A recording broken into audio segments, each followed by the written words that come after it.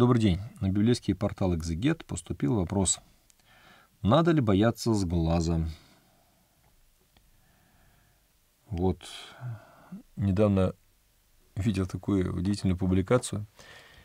Едет э, негр в, электричке, на груди у него майка, и на ней написано «Мы русские, с нами Бог». Когда, мы, когда с нами Бог, кто против нас?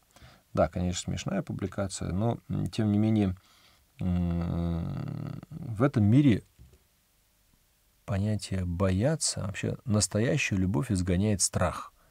Если в человеке нет любви, то понятие страха в него вселяется под любым предлогом. Человек боится старости в 80 лет, которая уже наступила. Боится болезней, боится ИННов, боится коронавируса, боится, боится, всего боится. Знаете, умирать одинаково неприятно от всего.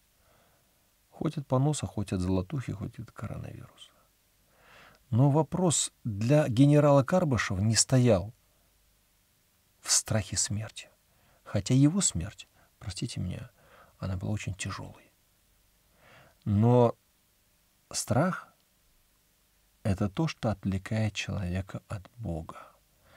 А человек, живущий любви и в Боге, он не испытывает страха, и поэтому он не боится в этом мире ничего. Бояться, да, нужно двух вещей. Бога и греха. Причем Бога не как карающего меча, а Бога в смысле оскорбить его. Бояться совершить такой поступок, который оскорбит э, память об, о твоем отце или имя твоего отца. Представляете? Раньше для нас э, очень серьезным был наказанием или предостережением э, такая фраза. Отец узнает, как ты будешь себя чувствовать. И, или так, это сын вот этого человека. Знаете, страшно было оскорбить и быть неприглядным в глазах какого-то человека в связи с тем, что он знает твоего отца. Не потому, что он тебя, на тебя пожалуется, а потому что отца жалко расстраивать.